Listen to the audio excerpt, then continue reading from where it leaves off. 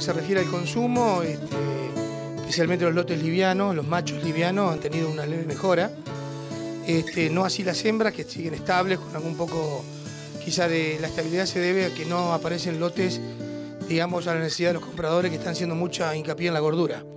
La hembra tiende a engrasarse más que el macho, por lo tanto a veces se está haciendo una brecha bastante importante ya entre el macho y la hembra. Hoy ha habido algunos colegas que han vendido casi a 11 pesos, el macho, y la hembra no llega a los 10.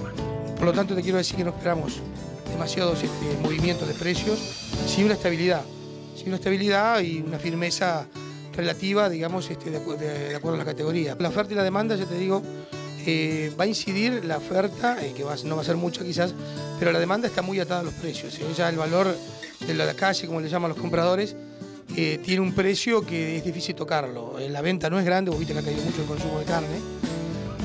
Tras tocar los valores le implica quizás menores ventas. El comprador está muy acostumbrado al feedlot, muy acostumbrado al feedlot. Este, y bueno, este, la, falta de, digamos, de eso hace subir estos precios, te digo yo. Pero este, muchos este, han ido buscando categorías más pesadas, han ido cambiando un poco el trabajo